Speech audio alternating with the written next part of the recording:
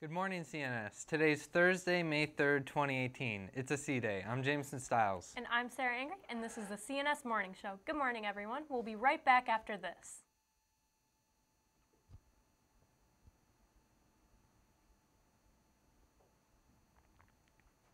Any students in 8th to 12th grade who are interested in trying out for the cheerleading team, there will be a meeting on Wednesday, May 23rd from 3 to 3.30 at CNS High School in the LGI.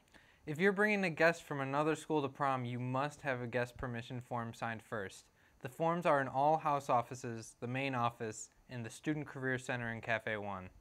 Any seniors still interested in ordering senior clothing can go to papasports.com and search eStore Class of 2018.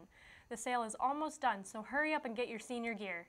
The New York State Fair is hiring parking attendants for this year's State Fair. See the Career Center webpage for details or Mrs. Deaver in the Career Center. Today, the Fellowship of Christian Athletes will be meeting at 210 in room 147. All are welcome. Students taking the SAT this Saturday. Be here by 745.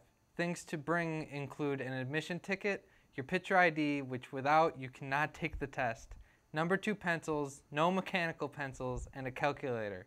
Cell phones need to stay in your cars or at home. You cannot bring your cell phone into the testing room. For lunch today, there will be beef tacos, refried beans, seasoned corn, fresh fruit, and apple-filled churros. Tomorrow, there will be buffalo chicken wraps, garden salad, seasoned broccoli, and fresh fruit. That's all for today. From the CNS Morning Show, I'm Sarah Angrick. I'm Jameson Stiles. Have a great day.